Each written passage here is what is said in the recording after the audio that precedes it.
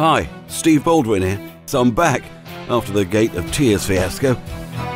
Trouble seems to follow me around. Working security on a billionaire super yacht, the Greek police weren't too happy about the body count, so I headed west. The Sicilian Channel, they call that area.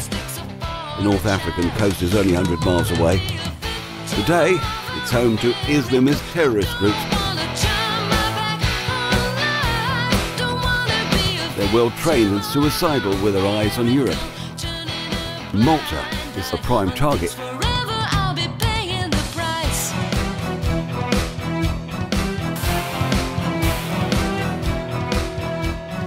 These nutters still want to settle the score for the Crusades.